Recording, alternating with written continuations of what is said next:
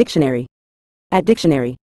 Dólares is the Spanish term for dollars, the official currency used in several countries, most notably the United States, USD.